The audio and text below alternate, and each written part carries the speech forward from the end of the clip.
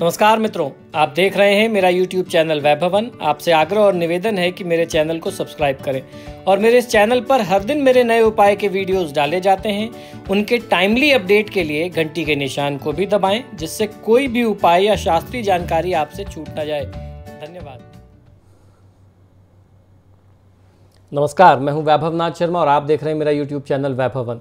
दोस्तों, आज हम लोग बात करेंगे 27 मई के पंचांग राशिफल और महा उपाय के बारे में। तो सबसे पहले बात कर लेते हैं पंचांग की।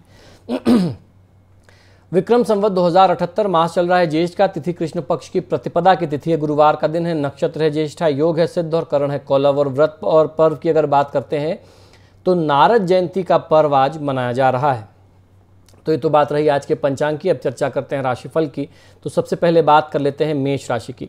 मेष राशि वाले जातक लोगों के लिए व्यापार धंधे में लाभ और नौकरी में आय में वृद्धि के योग आपके लिए दिखते हैं। ओम कृतने नमः मंत्र का 108 बार जाप करें। संपत्ति या उसके अलावा आने तक कहीं निवेश की योजना हो, अगर शेयर वगैरह में तो उससे आपको बचना चाहिए। वृषभ राशि। वृषभ राशि वाले जातक लोगों के लिए कार्यस्थल में स्थितियाँ चुनौतीपूर्ण रह सकती हैं। नौकरी व्यवसाय में थोड़ी सी आज कठिनाई की स्थिति का सामना करना पड़ेगा। ओम कैवल्य सुखदाय नमः मंत्र का 108 बार जाप करें और दिल की बात आप हर किसी से चर्चा न करें। मिथुन राशि। मिथुन राशि वाले जातक लोगों के लिए कारोबार में आकस्मिक धन लाभ और नौकरी में तरक्की के योग आपके लिए दिखते हैं। ओम गजाननाय नमः मंत्र का 108 बार जाप करें और आलस्य बिल्कुल भी आपको आज नहीं सुहाएगा। कर्क राशि। कर्क राशि वाले जातक लोगों के लिए कार्यभार की अधिकता रहेगी और परिश्रम आज बहुत अधिक करना पड़ सकता है। ओम गणेश्वराय नमः मंत्र का 108 बार जाप करें और यात्रा करने से आपको आज बचना चाहिए। सिंह राशि। सिंह राशि वाले जातक लोगों के लिए कार्यक्षेत्र में छोटी छोटी परेशानियों का सामना करना पड़ेगा। हालाँकि काम की अधिकता रहेगी, लेकिन कठिन परिश्रम से कार्यों में सफलता प्राप्त आप कर पाएँगे। ओम गतिनी नमः मंत्र का 108 बार जाप करें और संध्या काल में अध्ययन आपको बिल्कुल नहीं करना चाहिए। कन्या राशि। कन्या राशि वाले जातक लोगों के लिए कार्यभार की अधिकता रहेगी और कार्यक्षेत्र में अधिक मेहनत आपको करनी पड़ सकती है। ओम गुणातीताय नमः मंत्र का 108 बार जाप करें। रात्रि काल में बाग बगीचे में, उपवन में जाने से आपको बचना चाहिए। तुला राशि। तुला राशि वाले जातक लोगों के लिए व्यवसाय धंधा मध्यम रहेगा और कार्यक्षेत्र में बाधाएँ रहेंगी। ओम ग्रहपतय नमः मंत्र का 108 बार जाप करें। यात्रा में लापरवाही करने से आपको बचना चाहिए। वृश्चिक राशि। वृश्चिक राशि वाले जातक लोगों के लिए व्यावसायिक गतिविधि में प्रगति और धन लाभ की स्थिति आपके लिए दिखती है। ओम गौरी पुत्राय नमः मंत्र का 108 बार जाप करें और दिन में शयन करने से आपको बचना चाहिए।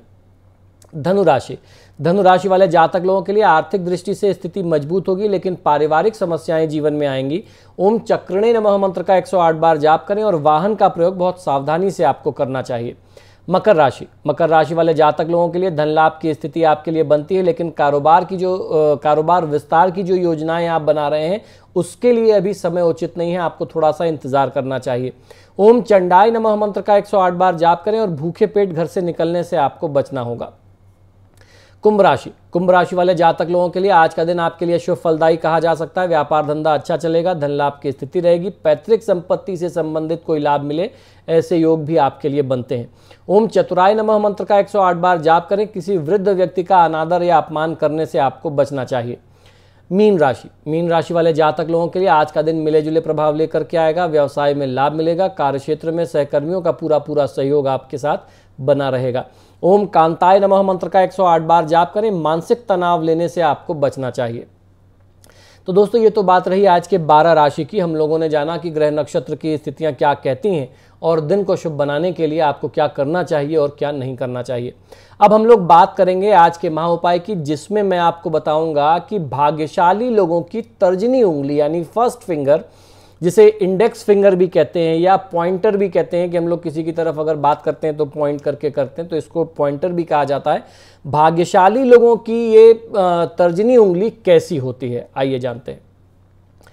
अंगूठे और मध्यमा उंगली के बीच जो उंगली होती है, उसे तर्जनी उंगली यानी फ़र्स्ट फिंगर इंडेक्स फिंगर या पॉइंटर फिंगर भी कहते हैं।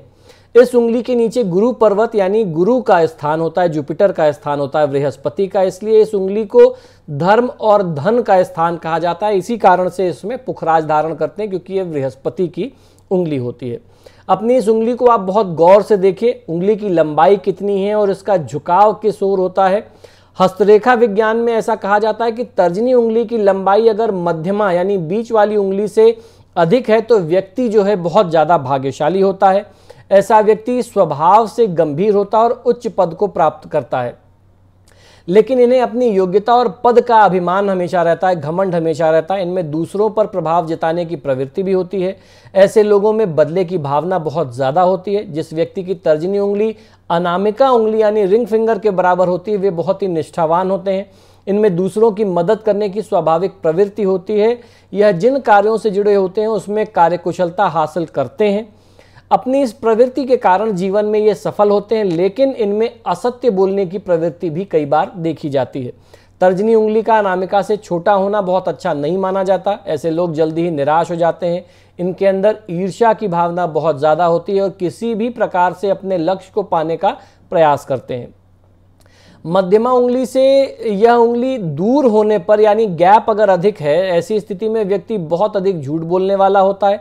हस्तरेखा विज्ञान के अनुसार तर्जनी की लंबाई मध्यमा के बराबर होने पर व्यक्ति असामान्य मानसिकता वाला होता है उसका मेंटल बैलेंस ठीक नहीं होता। तर्जनी उंगली का झुकाव अगर अंगूठे की ओर है तो ये दर्शाता है कि व्यक्ति बहुत अधिक महत्वाकांक्षी और दृढ़ इच्छा वाला है। इसके विपरीत यह उंगली मध्यमा की ओर अगर मुड़ रही है तो यह दर्शाता है कि व्यक्ति निराशावादी हो सकता है। इनमें निर्णय की क्षमता की जो है, वो कमी होती है और छोटी सी असफलता से ये घबरा जाते हैं, दुखी हो जाते हैं या हताश, निराश, ये बहुत जल्दी हो जाते हैं। तो दोस्तों, आशा करता हूँ कि शास्त्र से जुड़ी हुई बातें, ज्ञान की बातें जो आपको मेरे यूट्यूब चैनल से प्राप्त होती हैं, वो निश्चित ही पसंद आती होंगी। आप सभी से बार बार आग्रह है कि जब भी आप मेरे वीडियोस देखते हैं तो इनको लाइक और शेयर ज़रूर करें। और आपने अगर अभी तक मेरे चैनल को सब्सक्राइब नहीं किया तो प्लीज़ इसे सब्सक्राइब करिए।